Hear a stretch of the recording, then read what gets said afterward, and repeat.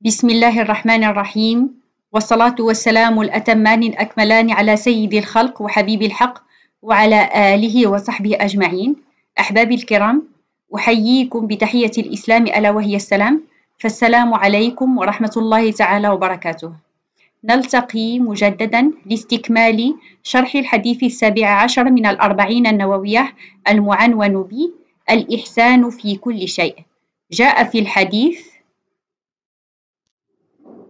عن أبي يعلى شداد بن أوس رضي الله تعالى عنه عن رسول الله صلى الله عليه وسلم قال إن الله كتب الإحسان على كل شيء فإذا قتلتم فأحسنوا القتلة وإذا ذبحتم فأحسنوا الذبحة وليحد أحدكم شفرته وليرح ذبيحته. رواه مسلم. سنشرح بإذن الله تعالى الجزء الثاني من هذا الحديث المتعلق بالإحسان في ذبح البهائم. قال رسول الله صلى الله عليه وسلم وإذا ذبحتم فأحسنوا الذبحة وليحد أحدكم شفرته وليرح ذبيحته. ففي الإسلام آداب يلتزم بها المسلم عند الذبح وهي بمجموعها تجسيد عملي للإحسان والرفق.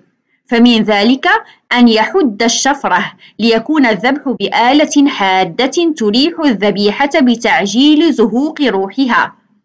روى الإمام أحمد وابن ماجة عن ابن عمر رضي الله عنهما قال أمر رسول الله صلى الله عليه وسلم بحد الشفار وأن توارى عن البهائم وقال إذا ذبح أحدكم فليجهز. ومن الآداب الرفق بالذبيحة فتساق إلى الذبح سوقا رفيقا.